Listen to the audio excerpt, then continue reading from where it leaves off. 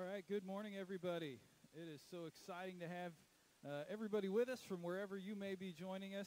Uh, we're really excited about worship today. We're really excited to uh, gather together virtually. We're kind of getting used to that a little bit, I think.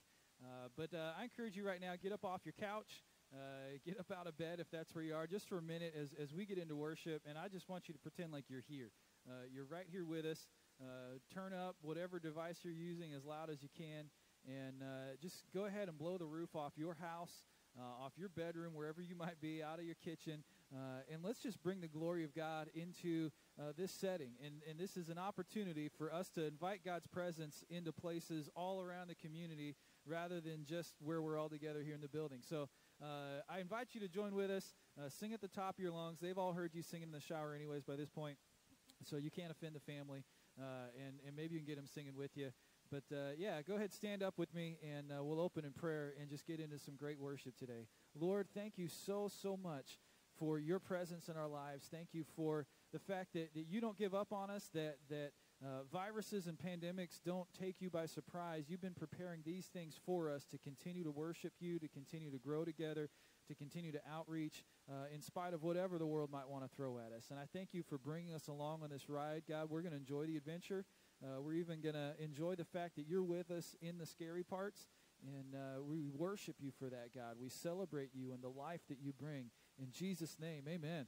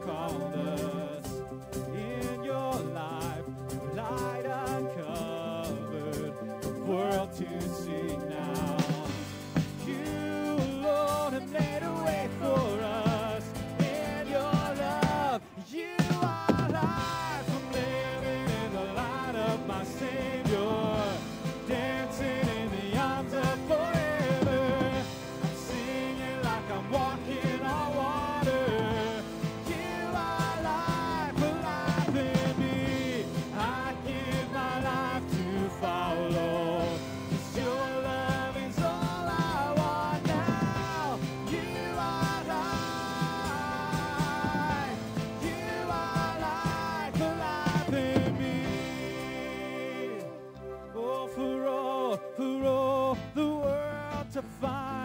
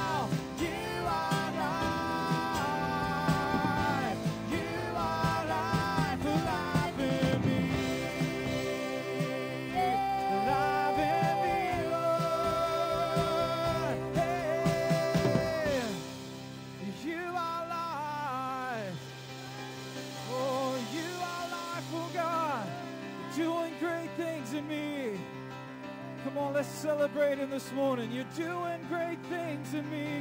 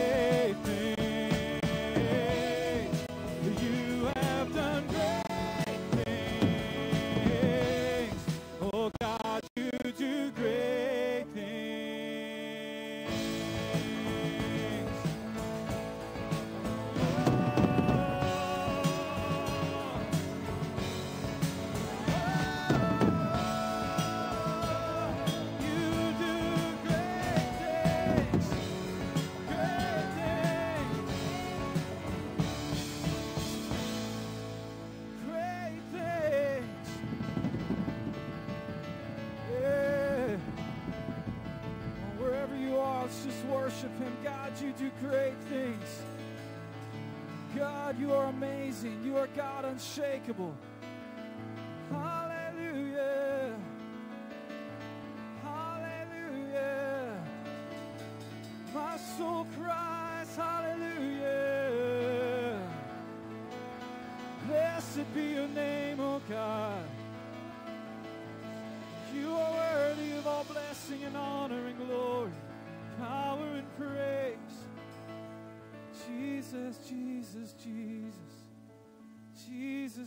Jesus, Jesus, how wonderful is your name.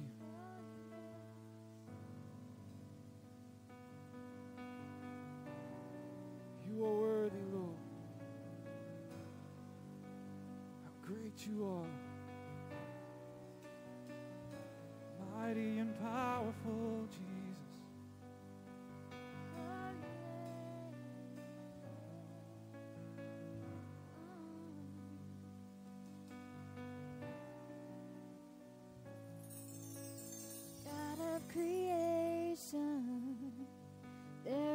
star before the beginning of time.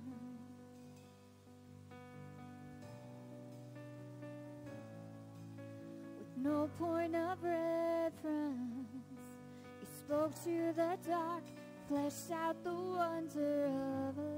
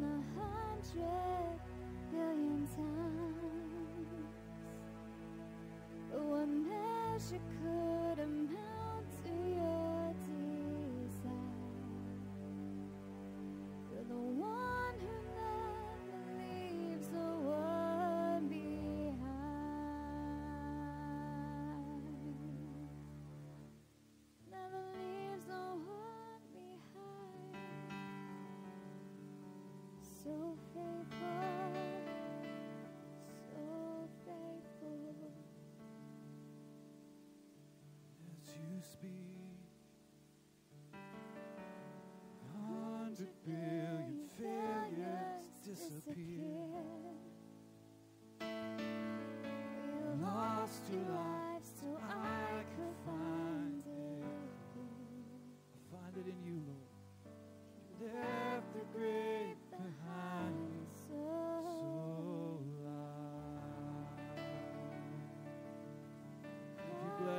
chose surrender, so will I.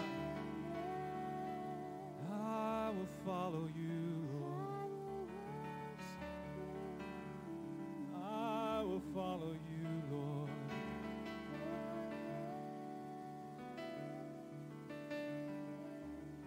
Lay down my life before you, God. You gave so much for me.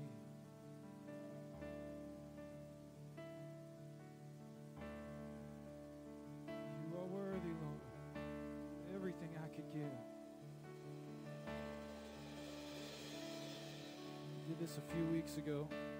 As we get into these verses, these songs, the, the verses are questions that, that I'd like for you to answer back to me from your kitchen, from your living room, from your bedroom, your driveway, wherever you happen to be. Or if you're right here with us, I invite you just sing this answer back if this is you.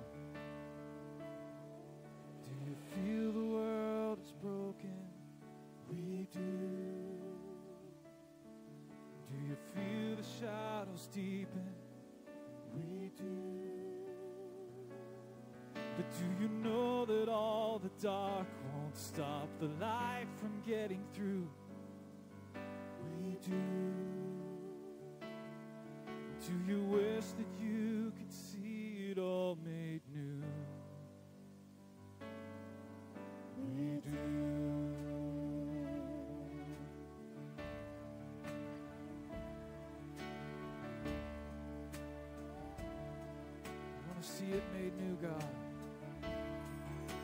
As all creation groaning. Is a new creation coming. Come quickly, Lord Jesus. Is the glory of the Lord to be the light within our midst? It is. Is it good that we remind ourselves of this?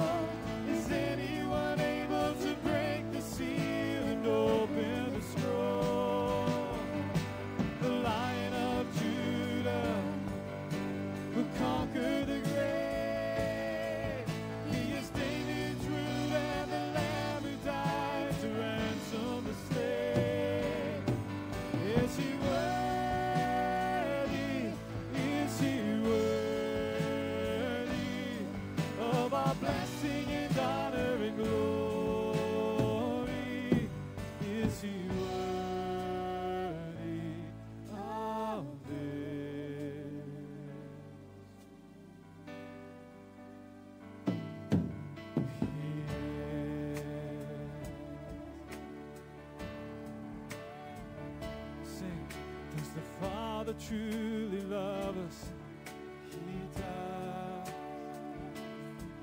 Does the Spirit move among us?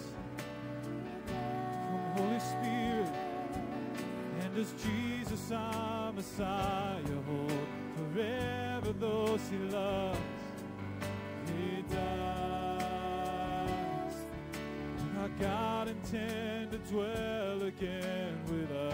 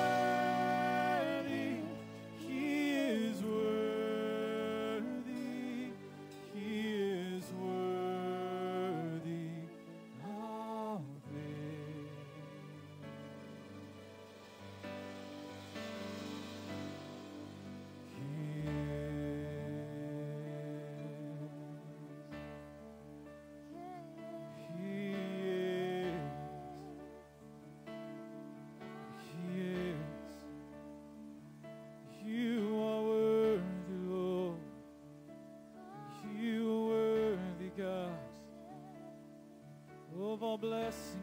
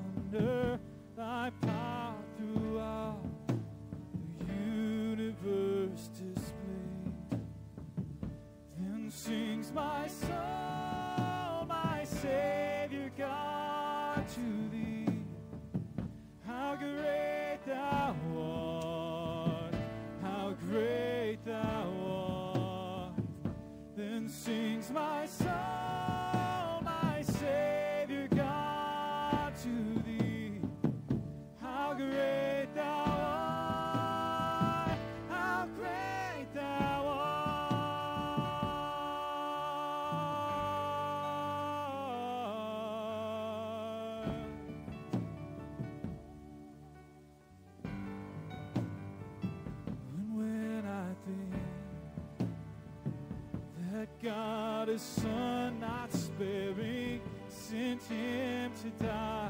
I scarce can take.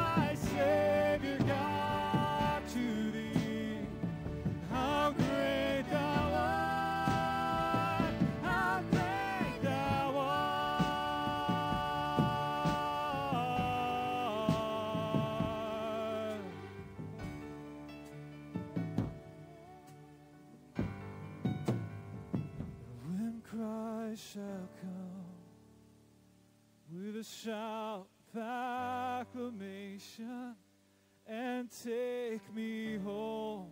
Oh, what joy shall fill my heart. Then I shall bow in humble adoration and there proclaim, my God, how great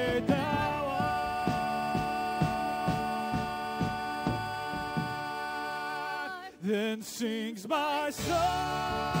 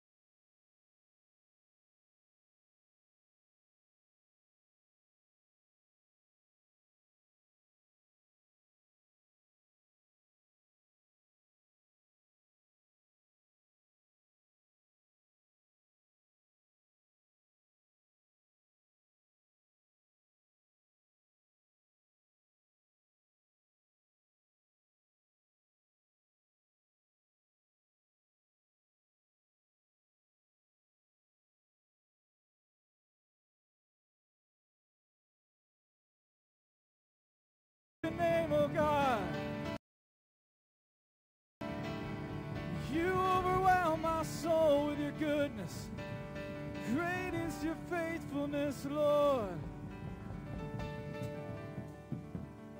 Thank you, God. Thank you, God, for coming and meeting us where we are. Thank you for coming as one of us to take the punishment for our sin. You met us where we were in our brokenness, God. You brought healing and life. And and here today, on a much smaller scale, you're still meeting us wherever we are. And I thank you so much for your presence, God, that we just can't get away from. We can't find a place where you are not. So we honor you today, God. We worship you today. We bless your name. In Jesus' name, amen. Amen. Wherever you happen to be, you may be seated for a moment. I want to thank everybody for coming. I want to thank everybody for joining in with us. Uh, we're, we're making it through this, and uh, we're not going quietly. Uh, we can move forward. Uh, the kingdom of God is built on the revelation that Jesus Christ is Lord, that He is the promised one of God. And uh, the gates of hell will not prevail against it. Uh, nothing's going to stop God's church from growing and moving. so we're doing a lot, and, and we're staying focused. There's a lot going on. Many of you came out to a work day that we had yesterday, uh, which is an indication of the special things God's doing. We've uh, found a buyer for the building, and uh, as of this week, uh, control of the building is, is being turned over to them. Uh, if you were in our forum last week, you heard this outlined a little more. just a, a, side note if you have one of the keys to the building, it will no longer work. We've got new keys. so we're, we're moving this forward. It's, it's, it's going great guns if you haven't been here in several weeks, the new buyers have been doing a lot of stuff to, to give a facelift to the building. It's just special. It's awesome. We're excited. And all this means for us getting to go where we're going to go and do ministry where we're going to do it. Uh, and all in the in between time, it's going to be special. And I thank you for joining with us. Uh, my back is very, very glad for every single one of you that came yesterday. Uh, if I did not have one of you, I may not be here right now. Uh, so thank you all for that. And uh, next Sunday, next Sunday, the, the other big announcement for the moment, we're going to do another drive-in service. We're going to do it uh, out here in our parking lot. There were a couple locations up in the mix, so we couldn't really announce it until we knew for sure. But we're going to do it in our parking lot, just like we did for Easter. Uh, that will be next Sunday for Mother's Day. So uh, go grab mom. You started this quarantine thing with five kids in the house. Now there's only three. And if those three want to survive, get your mom out here, get her out of the house, get rid of the stir crazy for a moment. We'll have a special day, uh, still being safely socially distanced in our parking lot, worshiping together. Uh, so start praying for sun now and no rain. And uh, let's uh, let's tell everybody about it. Let's make this an outreach. We're we're not the only ones going stir crazy. So um, get on Facebook, tell your friends, uh, tell your neighbors when you see them sitting out on their porch because they got nothing better to do. And uh, let's let's get people out here next Sunday. Just to have a special day in worship together. So with that being said, I'm going to turn this over to Ken to pray for the offering. He's on his way up. Uh, if you're at home and you do want to give, you can click on the giving button that's in the top right corner of our website or tap on the menu button, the three lines button. If you're using a mobile device, you can see a giving link there. You can look us up on Google Pay.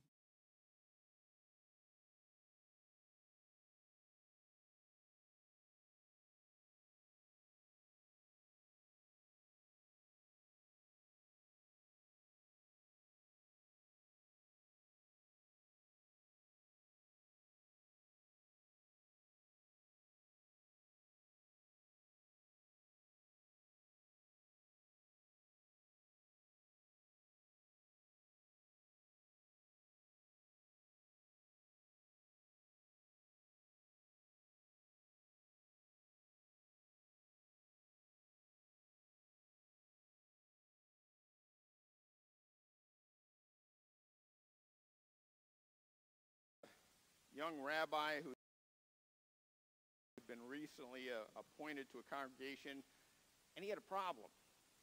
During the service on the Sabbath, half the congregation stood for prayers, and the other half remained seated, and each side shouted at the other side, insisting that theirs was the true tradition. Well, nothing the rabbi said or did could solve this conflict, and so finally, in desperation, he sought out the founder of this synagogue, a 99-year-old uh, man. He actually had to go to the nursing home to find him, and he poured out his troubles to the old rabbi, and then he said, now, please tell me the answer. Was it the tradition for the congregation to stand during prayers? No, said the older. Oh, okay, so it, it was the tradition for them to remain seated during the prayers. No, said the rabbi. Well, I don't understand. You know, what we have now is complete chaos. Half the people stand and shout, and the other half sit and scream. Said the rabbi, that was the tradition. Have you ever wondered what the world would be like if there was no conflict or fighting, no people mad at each other, no backstabbing, no people trying to get even or trying to get revenge? There'd be nothing to watch on TV. But, uh, you know, I, I read that the last century was actually the bloodiest in all of human history. If you add up the number of people killed in war, genocide, and mass murder in the 20th century, it adds up to about 120 million people, or in other words, about 3,200 people per day for a century. That's a lot of conflict. And then, of course, there's marriage, which is probably the cause of most conflict in the world. I've heard it said that most marriages start in wedlock and end in deadlock. It's like the story I heard about some newlyweds three weeks after their wedding day. Joanna calls her pastor. She's in hysterics. She says, Pastor, what am I going to do? John and I had our first fight. It was awful. pastor said, now calm down, Joanna. Every marriage has conflicts once in a while. It's natural. I know, I know, said Joanna, but what am I going to do with the body? We're continuing in our series on the book of Philippians called Enjoy the Adventure. We've been staying a, a, a statement of faith each week. It'll be on the slide uh, next, uh, if we can bring that up. A statement of faith. Here it is. Life is an adventure. I'm following you, God, through the middle of it and you are providing for me step by step. Help me to enjoy the adventure as I walk with you. Life is an adventure, but it's an adventure where you know the ending is going to be good. You know, just like in an adventure movie, it's all going to work out good in the end, right? The hero is going to win the day. It's going to be a happy ending. We know that. Why? Because we're not on this adventure alone. We're walking step by step with God. And I can trust in God that he will provide for me everything I need step by step day by day. And I know that the story ends with me living happily ever after with God in heaven as part of his family. And so I already know the end of the adventure. So all that remains for me is to enjoy the adventure. So that's what we're talking about in this series. How do you enjoy it? And today we're starting chapter 2 of Philippians. In this section, Paul talks about growing in our relationships from conflict to Christ-likeness. You're not going to enjoy the adventure of life unless you learn to relate to people in healthy ways. And so let's read what he says. This is some of the most challenging scripture in the whole Bible. Philippians 2, starting in verse 1. Therefore, if you have any encouragement from being united with Christ, if any comfort from his love, if any common sharing in the Spirit, if any tenderness and compassion, then make my joy complete by like-minded, having the same love, being one in spirit, and of one mind. Do nothing out of selfish ambition or vain conceit. Rather, in humility, value others above yourselves, not looking to your own interests, but each of you to the interests of the others. In your relationships with one another, have the same mindset as Christ Jesus, who being in very nature God, did not consider equality something to be used to his own advantage. Rather, he made the very nature of a servant, being made in human likeness, and found in appearance of a man, he humbled himself by becoming obedient to death, even death on a cross.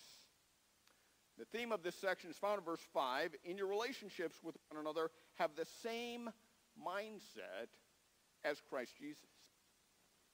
Oh, okay. I mean, in your relationships, just be like Jesus, right? No problem.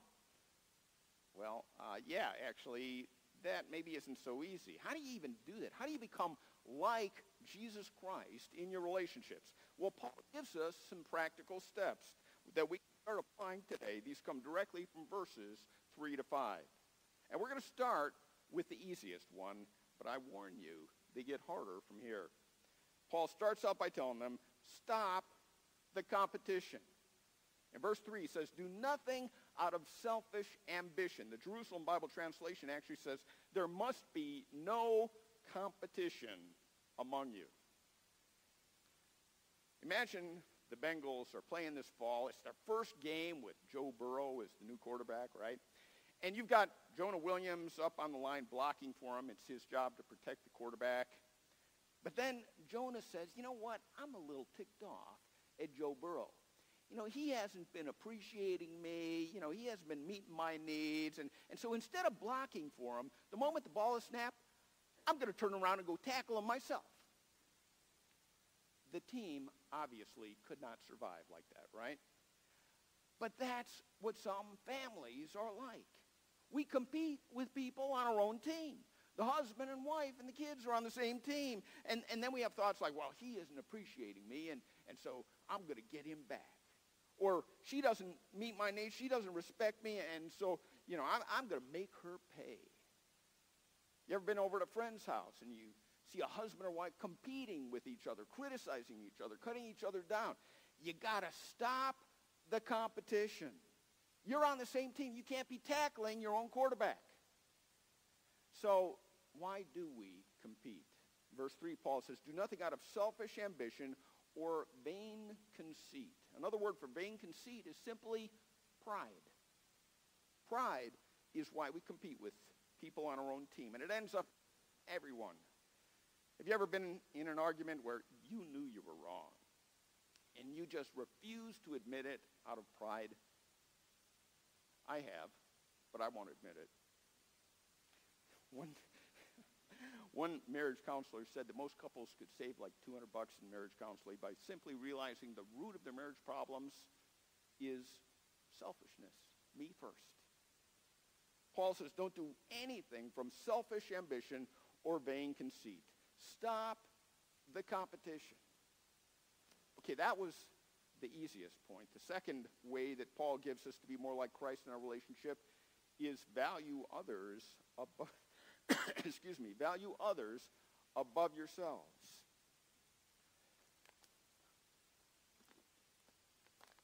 in verse 3, Paul says, rather in humility, value others above yourselves. Now, when he says above, he's not talking about, you know, superior, like you're better than me or I'm better than you. He says, he's talking about how you treat people. He says, instead of putting people down, you actually treat them better than yourself. And, and this is kind of radical. I mean, treat others better than myself? I mean, why in the world would I do that? And this is where Paul's teaching on relationships starts to get really hard. Because valuing others above yourself flies in the face of our culture in America. Our society is full of people who think they're better than anybody else, and we've elevated selfishness to an art form. Can you imagine a best-selling book today titled Looking Out for Other People?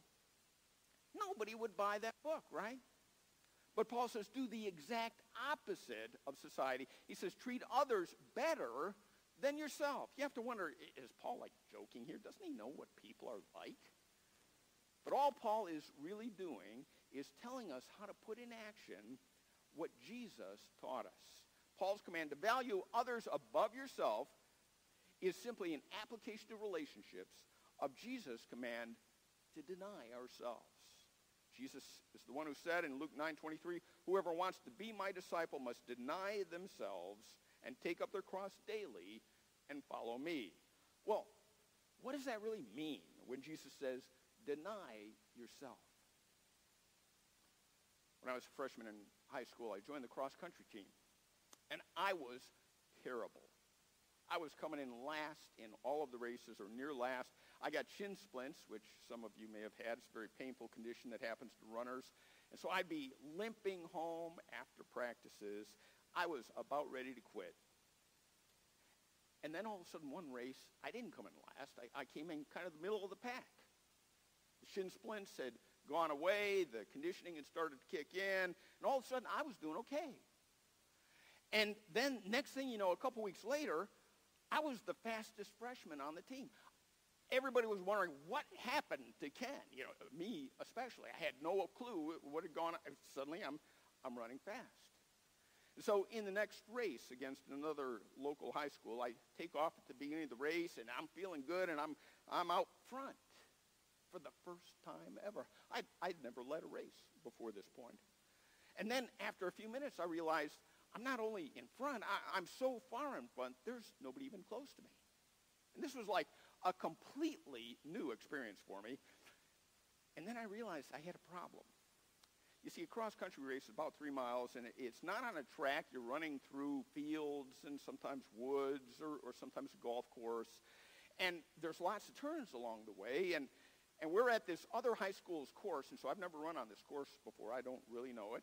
And the course is marked out by flags that tell you where and when to turn. But I've never had to pay any attention to those course markers before because I didn't need to. I was always following a whole bunch of other guys. You know, I just followed the guy. I didn't pay attention to the course. But now I started to realize, you know, maybe I should have paid more attention to the rules. Like, how do you know when to turn and which direction to turn? And, and I really wasn't sure. And that's when it happened. I turned the wrong direction.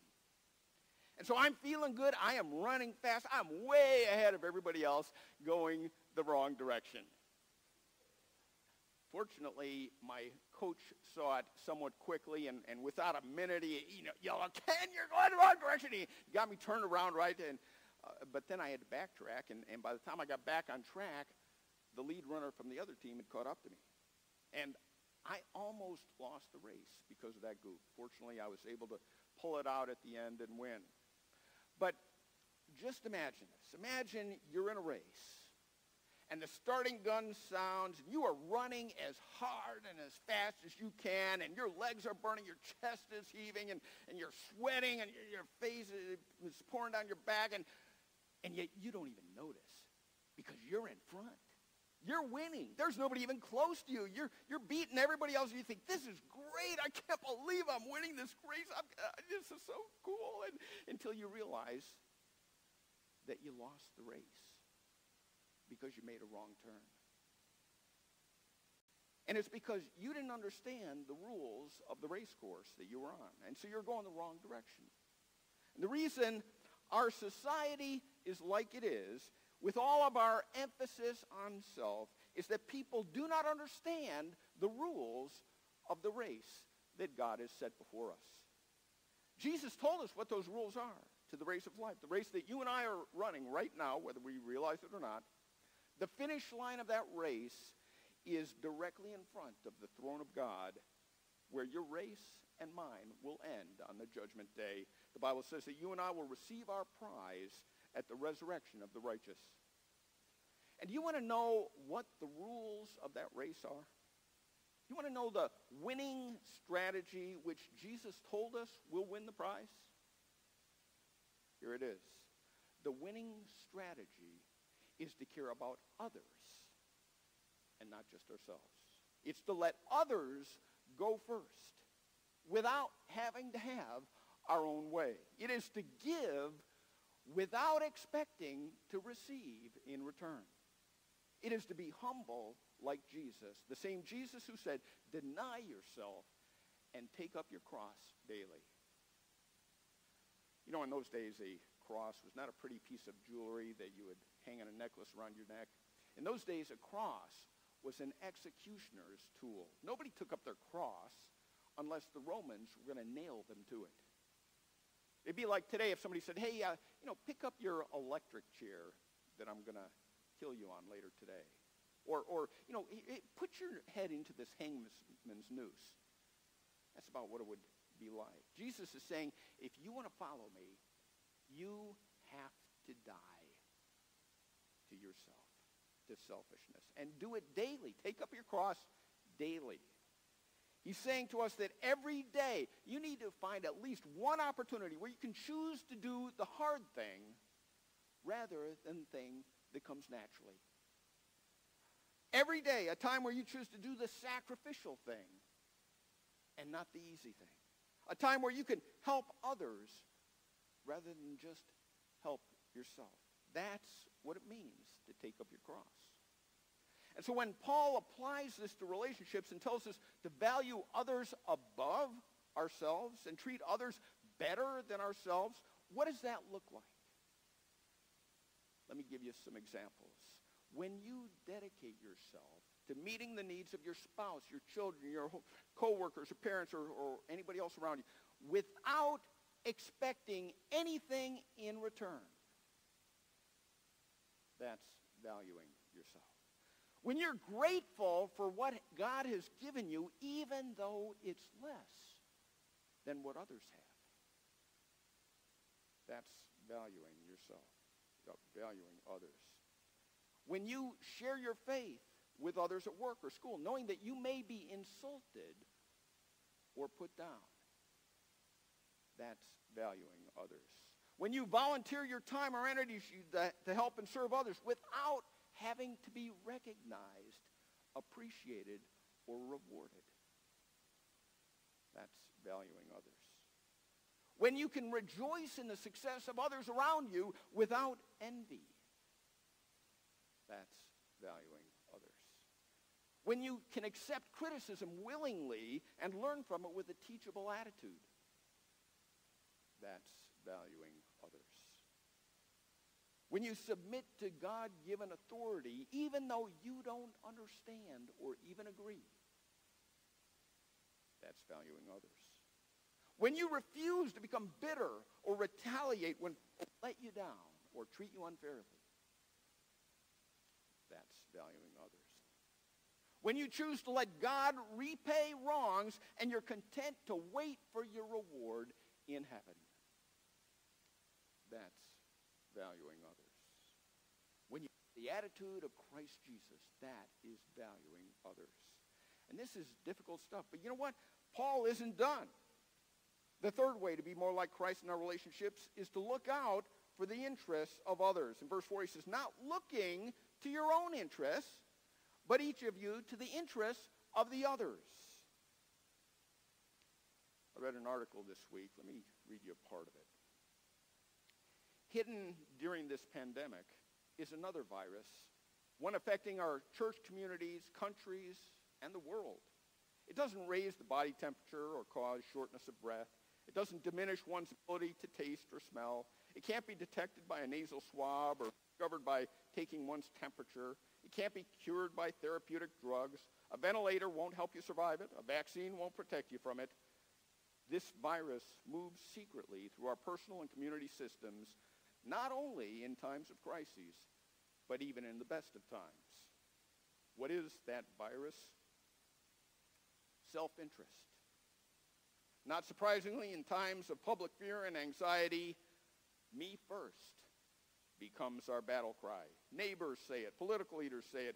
We all say it. Whether it's an adult hoarding toilet paper or a politician denying export of medical equipment, the virus of self-interest affects us all. Excuse me. You know, this is so true. And in fact, it is so true that I even know what you're thinking right now. What you are thinking is, what's so bad about self-interest? I mean, I got to think of my own needs, right? What's so bad about self-interest? What's so bad is that self-interest is the priority of this world, but it is not God's priority. In fact, Paul says you've got to do the opposite. He says if you want to follow Jesus, then value others above yourselves, not looking to your own interests, but each of you to the interests of the others. At 3.30 on June after, on a June afternoon a few years ago, a 21-year-old man with muscular dystrophy named Ben Carpenter drove his electric-powered wheelchair down the sidewalk in the town of Paw Paw, Michigan. As he approached the street crossing at the corner of Red Arrow Highway and Hazen Street, a semi-truck came to a halt at the stoplight. Ben began to cross the street in his wheelchair just a few feet in front of the truck. When the light turned green, somehow the 52-year-old truck driver didn't see Ben in his wheelchair. With Ben still in front of the truck, the engine roared to life and the huge semi pulled forward. When the truck struck Ben's wheelchair, the wheelchair turned, now facing forward, and the handles on the back of the wheelchair became lodged in the grill of the semi-truck. The wheelchair kept rolling, and Ben, wearing a seatbelt, was held in his chair. The truck driver was completely oblivious to the fact that he had hit the wheelchair. The truck picked up speed, soon reaching a speed of 50 miles an hour. Still, the wheelchair and Ben were pinned to the front. While the driver continued along in his own little world in the truck cab, people along the road saw what was happening. And in fact, everyone seemed to see it except for the truck driver. Frantic observers called 911. People waved their arms and shouted and honked and tried to get his attention. Two off-duty policemen saw what was happening. They began to pursue the truck, but on drove the trucker without a clue. On the road behind the truck were two new parallel lines that marked off where the wheelchair's rubber wheels were being worn off The truck driver didn't notice a thing. Finally, after two terrifying miles, the driver pulled into a trucking company parking lot, still clueless to the presence of Ben Carpenter pinned to the front of his truck. Miraculously, Ben was unharmed. Now, you ask yourself, how could this truck driver just drive merrily on his way, ignoring the fact that he's pushing another man in a wheelchair? You know what? in a way, you and I do the exact same thing. We roll merrily on our way in life. We are so wrapped up in our own interests, our own needs, our own desires, our own goals.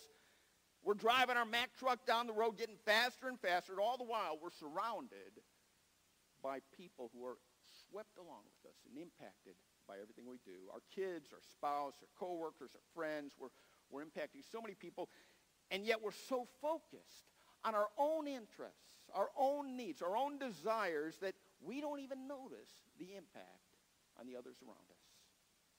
And so in this verse, Paul is kind of saying, stop the truck. Just stop the truck for a minute. You know, uh, just stop thinking about only your own interests, about only your own needs, only your own desires, and put yourself for a minute in the shoes of those around you and start thinking of their interests and their needs, and then do something about it. Do something to help them and look out for their interests. You know, this is one of those areas that it sounds really difficult, but when you actually do it, then you discover there's a blessing involved. I've seen so many times people will volunteer to help in one of our ministries, like our food pantry or the Family Promise homeless shelter, or maybe they go to Pine Ridge on our mission trip, you know, and maybe they do it the first time just out of obligation because they're thinking, you know, I know it's the right thing to do, and I ought to do my part, and, and so, you know, I'm just going to bite the bullet and show up and expecting to be miserable. And then they have fun helping others. And they say, whoa, whoa what is happening here? I, I, was supposed to be miserable, but, you know, this is actually kind of fun. What's going on here? What's going on is that God has put inside each one of us a hidden switch that turns on when we help other people who cannot repay us.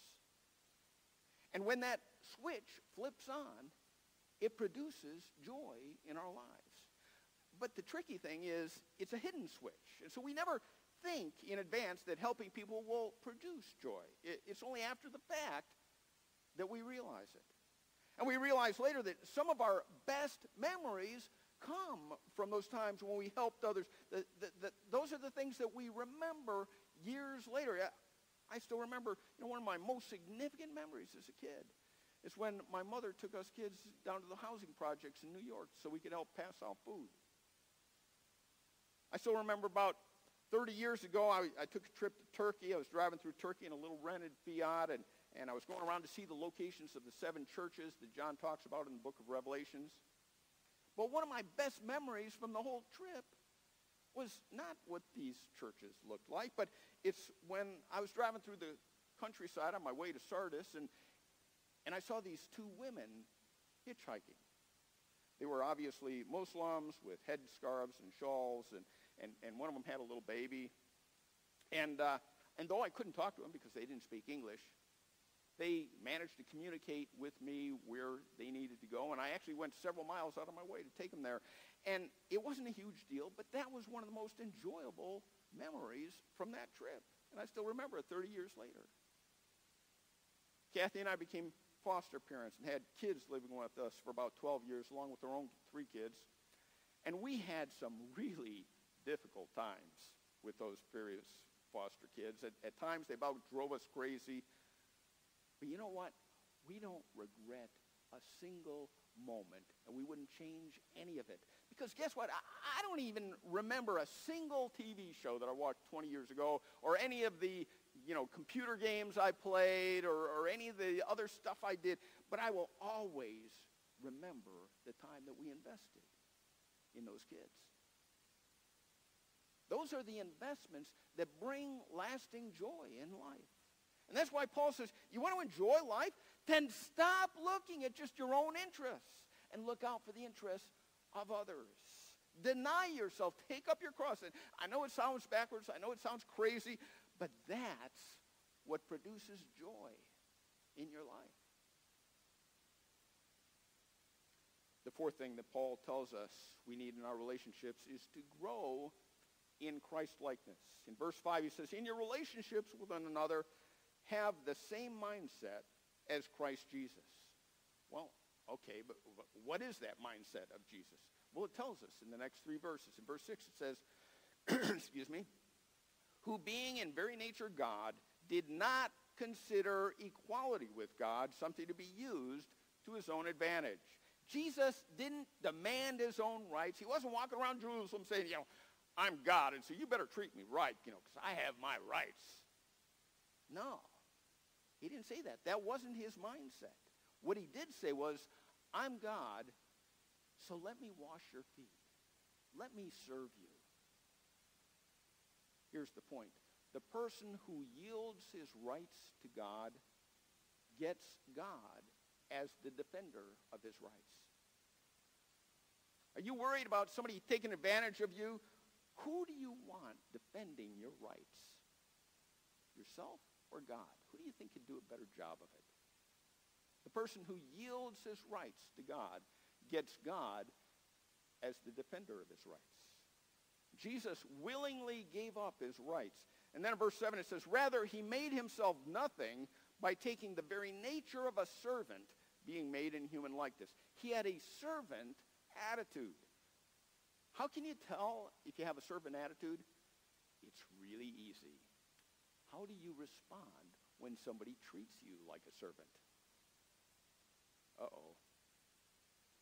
Jesus had a servant attitude. Paul goes on verse 8, and being found in appearance as a man, he humbled himself by becoming obedient to death, even death on a cross. Jesus was willing to sacrifice for the benefit of others. So Jesus didn't demand his own rights. He had a serving attitude, and on top of all that, he was willing to sacrifice for the benefit of others. The person who yields his rights to God gets God as the defender of his rights. We're going to close in a minute, so I'd like the worship band to come up. Let me say one more thing. It is impossible to live with the mindset of Christ in your own power. It is just impossible to live a lifestyle of total unselfishness in your own power. In my own power, I cannot live totally unselfishly with my wife or my kids or the people I work with. You can't either.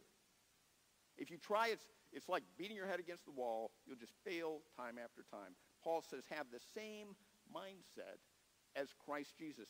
But to get the mindset of Jesus, you have to have the Spirit of Jesus inside you.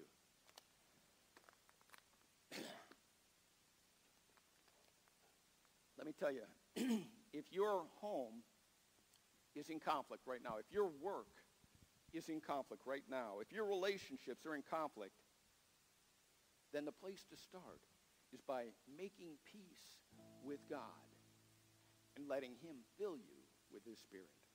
Because when you make peace with God and, and he puts his spirit in your life, then you have the power to make peace in the rest of your relationships. But not until. Let's bow in prayer. You would, would you say this prayer along with me in your heart, wherever you are right now? Would you say, Father, I am tired of the conflict in my life. And I want to have a good relationship with my family members, whether it's husband or wife, kids, people I work with, my parents, my relatives. And God, because I want to enjoy the people in my life. I ask you to help me to become less selfish, more focused on the needs of others. Would you help me to be less prideful and more humble? Would you help me to criticize less and compliment more? Would you help me to be considerate of the needs of others, not ignoring them? And most of all, Lord, I ask you to help me to be like Jesus. I know I can't do that in my own power, but I ask you to put your spirit in me and live through me. And I thank you for this in Jesus' name.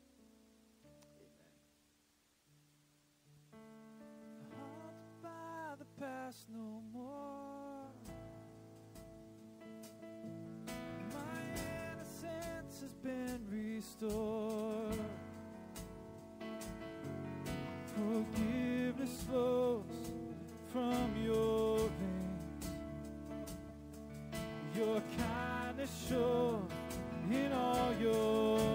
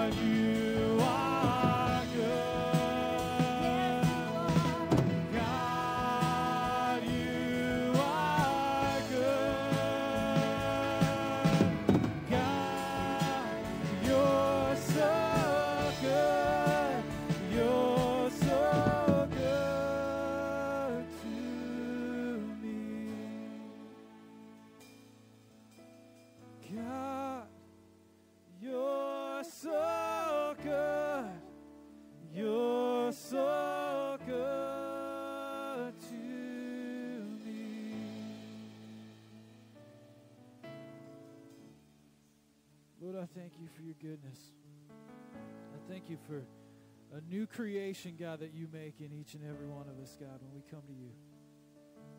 Make us more like you, Lord.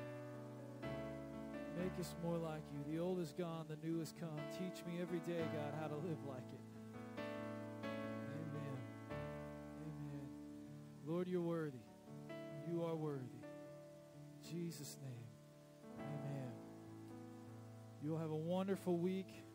Uh, let Jesus make you more like him every single day. And hopefully, next Sunday, we'll see you here in our parking lot looking seven days more like Jesus. You have a great day. God, you're